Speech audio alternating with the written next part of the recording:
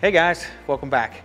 So today it's the first day of my weekend off and I'm back out here trying to finish up this wall here in the pole barn. So we just got done putting on uh, a few more sheets of the plywood siding and we've got it all the way over here to the garage door.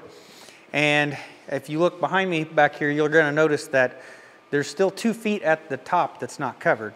Um, we're gonna cover that with the exact same stuff. We're gonna take some of this plywood siding, we're gonna put that and fill in that two foot gap that's up there. Hopefully we're gonna line up all the grooves and make everything look nice and neat so everything lines up. There will end up being a seam where those two stack on top of each other.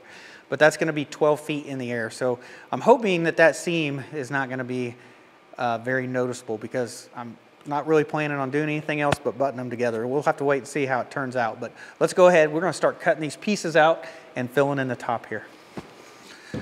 So one of these sheets should get us four pieces cut out from it.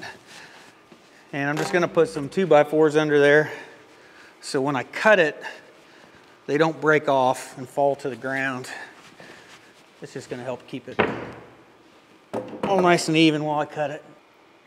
So I've got a Bora clamp-on guide, and you can clamp this on here and use it as a saw guide. I've already put some marks on here for where to put it. So I try to make sure the saw is not cutting very deep. Um, that way I don't cut up the 2x4s too much.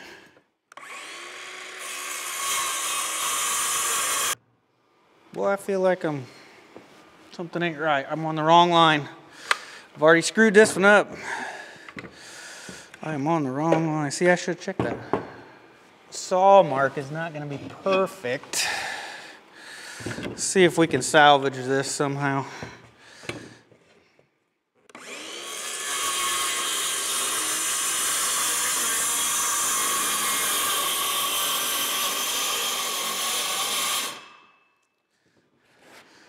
So there'll be just a little bit of a dip right here Hopefully we don't notice that on the ceiling.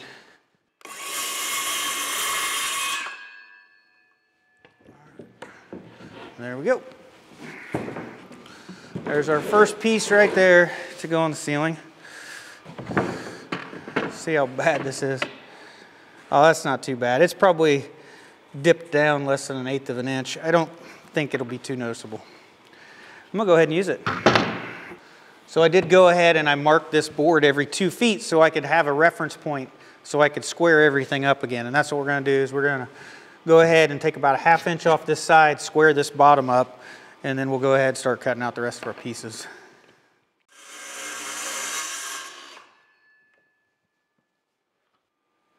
So one thing I found that this clamp's actually fairly handy for is marking these sheets of plywood when you're alone you don't have to try to hold a straight edge and lean way out.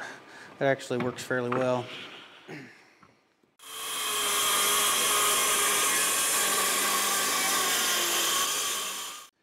So I'm going to just stain the bottom of these just to make sure that it doesn't, you know, any of that blonde wood doesn't show since we just made a fresh cut here. And for some reason I missed a little bit on this one. Got about half the bottom stained when I did it. I missed it.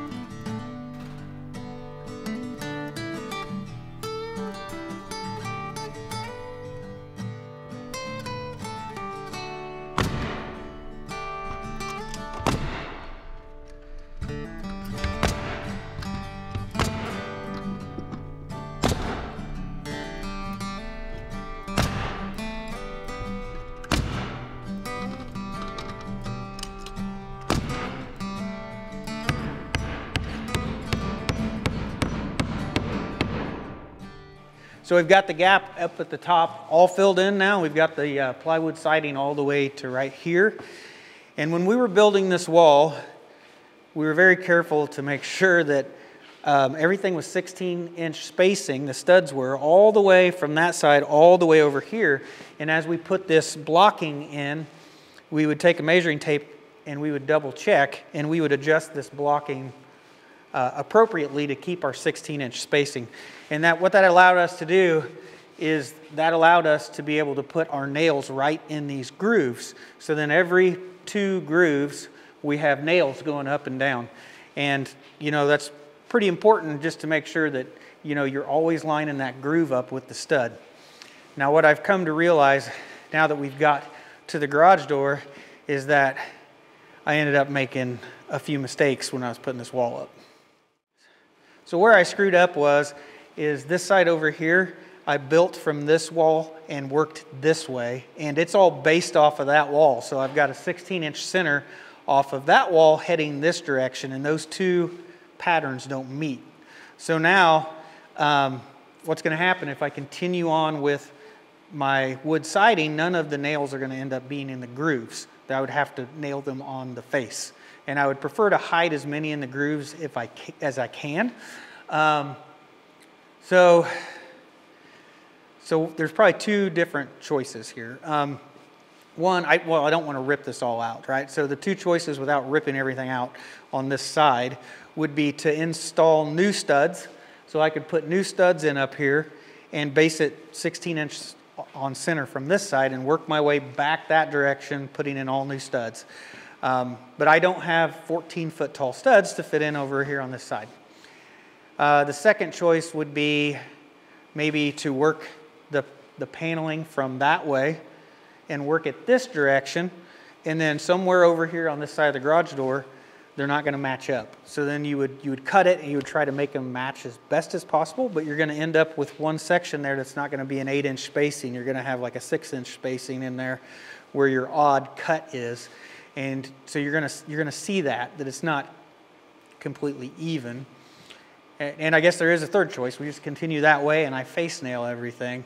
And, uh, and, just, and then that's just the way it is. So the nails will be a lot more visible on this side. So what I think I'm going to do is I do have a little bit of 2x4 material. I think I'm just going to go ahead and put new 2x4s and start working that way across the garage door header and at least put um, little studs in there so I can continue on to that side.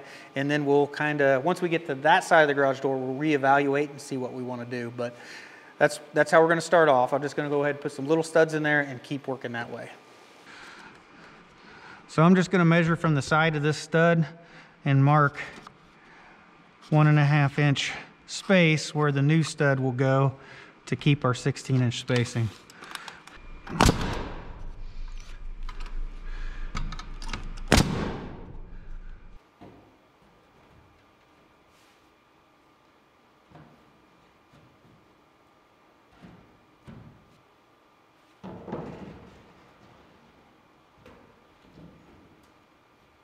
So now that I've got the plywood siding across the garage door header and I'm to this side of the room, I now realize that the stud spacing here is not related to the spacing that was in the header. See, I built this as three sections. I built that side, I built this side, and then I came back and I built the header that went in between. And, and all three of those were not related to each other in any way.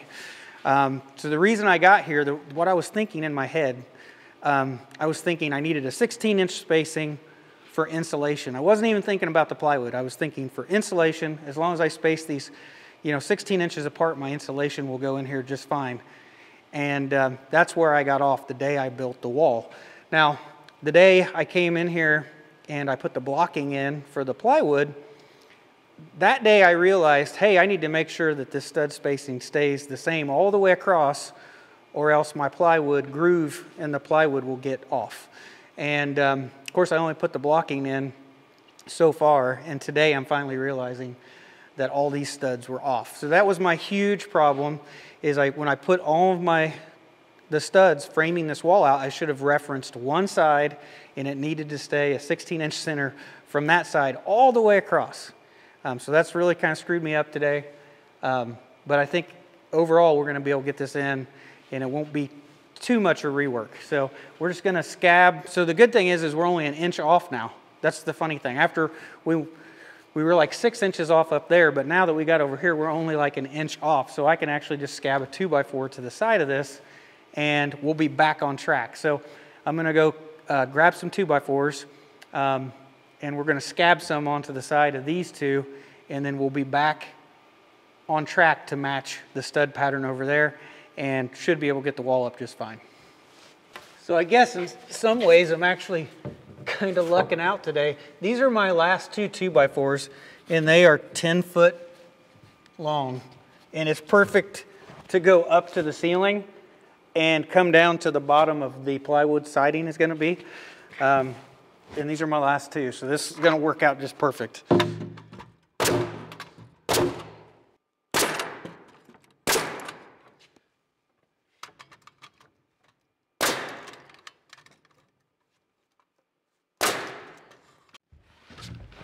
Well, the 10 sheets that I made up were not enough. I had to end up making sanding and staining a whole nother sheet. That's just the way it works out. So I'm gonna try to get this one in here. We're gonna try to get it to line up with the grooves up above. Yeah, to me that looks good. I'm just gonna go ahead and tack it in place. Now you can see we didn't quite keep the exact same pattern. We overlapped about eight inches, but uh, I think that's gonna work out fine for us.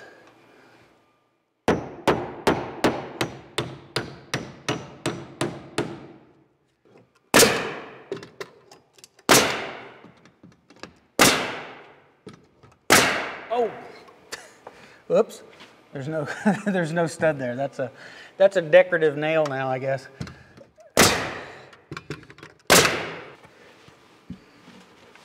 All right, last piece. Thank goodness. Ready for this. So today has been a fairly long day so far. We just got done finishing the uh, plywood siding on the walls. And I'm gonna go ahead and try to get this done. I really wanna get this done today. So the next is the corrugated metal, the old corrugated barn metal.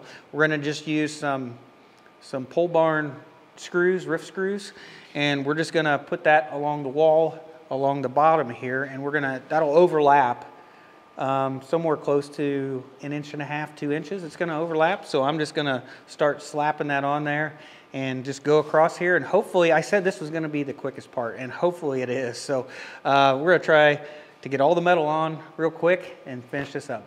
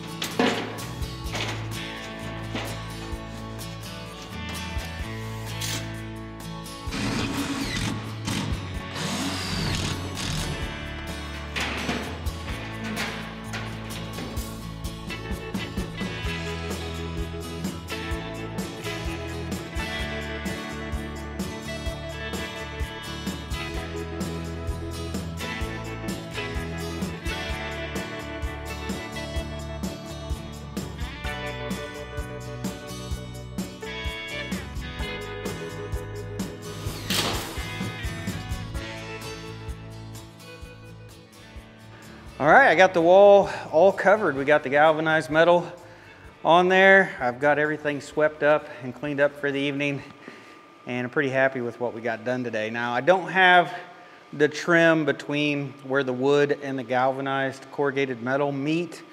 Um, I need to wait until I trim out the doors. I need to get the door mounted over here and get it trimmed out and I probably need to wait till the garage doors on and trimmed out before I I can do all the trim work and, and get that board in between there and, and dress that out a little bit. But very happy with what we have. Now, um, it is, uh, it is almost 8 o'clock. In about five more minutes, it'll be 8 p.m. tonight. It's been a long day.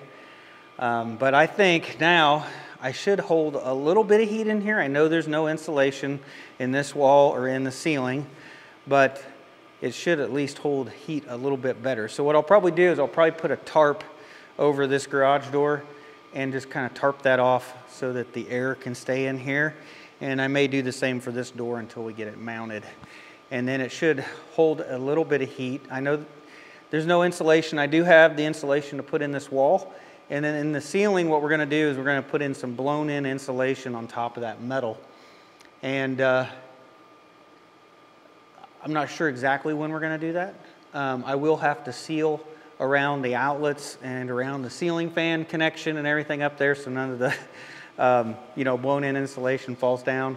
I'll also have to tuck some insulation in the sides of the walls so that the blown in insulation don't fall down the walls. So there's a lot of prep before I can ever put the blown in insulation in, but that is the plan. It'll be coming here eventually. But uh, I'm very happy to finally have this done and closed in, and then hopefully once I get some tarps on there, um, it'll be a little warmer in here. Maybe we can start doing some other things besides working on the walls in here. So I know I said it in another video, I'm hoping to bring the Allis-Chalmers tractor in here and be able to do some work on it here pretty soon. So I think now that this wall is closed in, I should be able to, to do that and maybe we can start on another project and at least not be the same thing over and over and over. Uh, it's nice to be able to bounce around from project to project. So maybe I can uh, get the tractor in here, do a little bit on that, and then get back out to the bank barn out there and finish working on it as well. And uh, I got a little modifications to do to the barnyard out there. And uh, yeah, there's a few things we want to do out at the old barn as well. So hopefully we can bounce around between a few projects now, now that we've got this wall up here and hopefully we can hold in maybe a little bit of heat so I can do some other projects in here. But uh, like I said, it is, it is almost 8 o'clock and it's been a long day, so I'm going to call it a night. So thanks for watching, guys. I'll see you in the next one.